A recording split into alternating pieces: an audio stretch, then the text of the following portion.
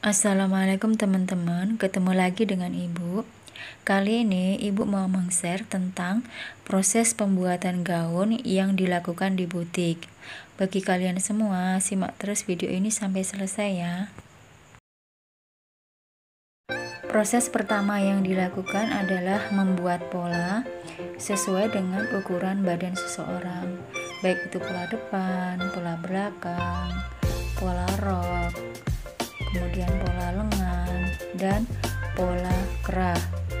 Kemudian kita buat landscape-nya. Berapa kebutuhan bahan yang diperlukan.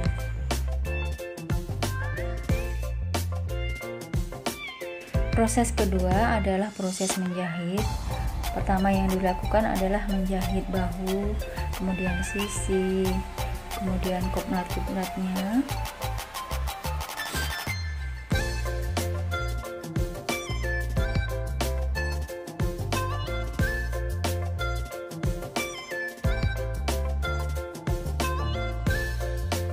kemudian setelah selesai semua bagiannya mulailah kita harus mengepres atau menyetrika per bagian biasanya yang harus disetrika itu bagian kupnat, bagian sisi, bagian bahu, bagian rok, dan sebagainya.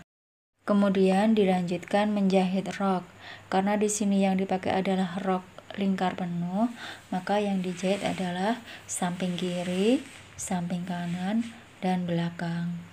Setelah itu dipasang tile. Kalau roknya itu memakai tilai.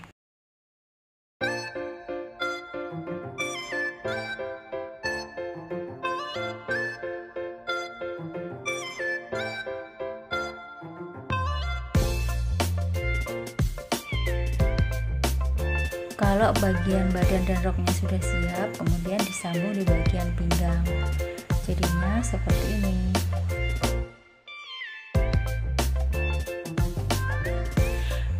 Karena pada model gaun ini memakai cape maka dilanjutkan memasang cape-nya terlebih dahulu sebelum memasang resleting memasang cape-nya ini biasanya memakai manekin supaya mudah dan pas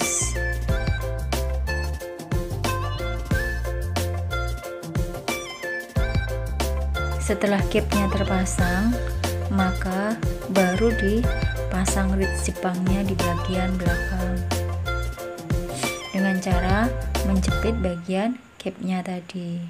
Nah, ini hasilnya. Kalau sudah memasang rit, dilanjutkan memasang lengan.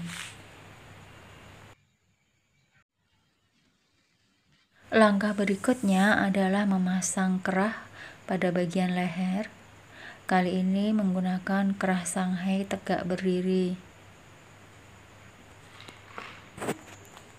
Proses yang terakhir adalah proses finishing, yaitu menghias busana dengan memasang manik-manik dan memasang brokat pada tilai.